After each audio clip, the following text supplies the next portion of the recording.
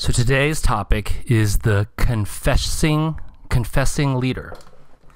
Now that may seem like a very strange title to have. It sounds like a confessional leader, one that confesses is a leader who's already done wrong.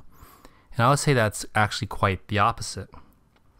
That it's quite possible that you're orienting yourself towards a leader who does not abide by James, which is to mix prayer with confession. And they may be very good at prayer, but they're also very good at hiding who they are, because it is that is what confession is. And I'll share a story and then illustrate what I think some of the issues were. So there was a pastor at a church, and uh, after several years, I turned to my wife and I was commenting about how he had been divorced. And she was surprised to find out that he was, in fact, divorced. And so this isn't a topic about divorce, it was a topic about how can someone go for years and not know something about that. And the converse is actually what's true. How can someone go for years for a very defining moment and not reference it at least once or twice throughout a number of years? So let's take a look at why this is important and why I believe it is a hallmark, an essential hallmark before you approve of someone as a leader. So the first one is one that is confessing is one who must have at some point repented. Now, it doesn't mean that um, one who is not confessing has never been repentant, but certainly one who has never been repentant is likely to never be confessing. So, this is the first thing our ability to access God and come before Him relies upon a sorrowful, repent, repentant heart.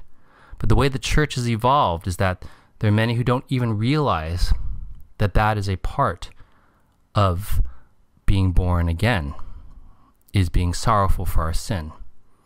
And so when you have a non confessional leader, that could be a signal that they are unrepentant from the beginning.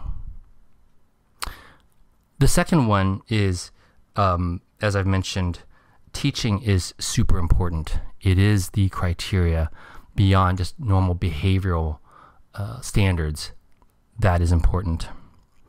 And I think many people get stuck on teaching as being a professor or someone who knows Greek or deep theology.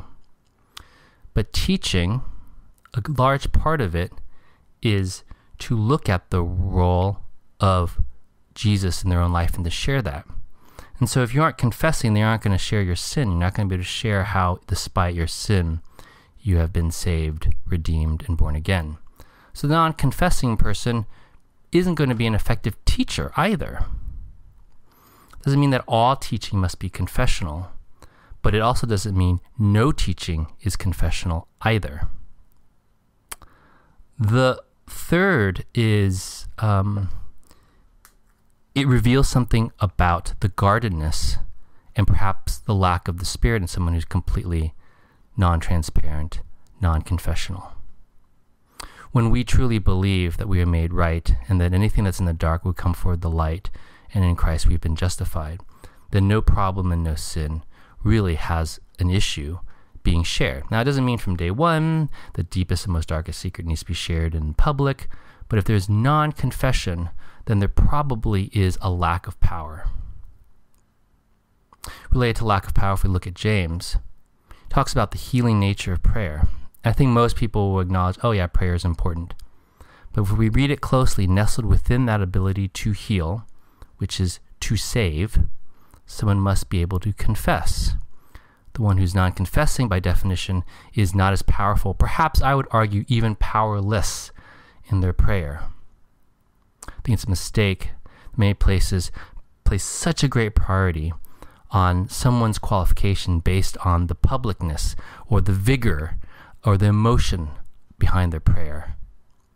But we can see that Jesus himself warns against displays of prayer as a sole qualification. And in fact, those can be faked. This is not saying that all public prayer is faked. It's just that it is necessary but insufficient for someone's turn of heart. This is why James talks about praying, I believe, in the context of a confession. So if you don't have that, then your leader's prayers could be potentially weak or, as I believe, ultimately powerless. They become show. And that too is not that effective. So if you're evaluating elders, leaders, a church, tune in for the confessional leader, for therein there is power and there is trusted on the nature of uh, um, repentance and the birth again.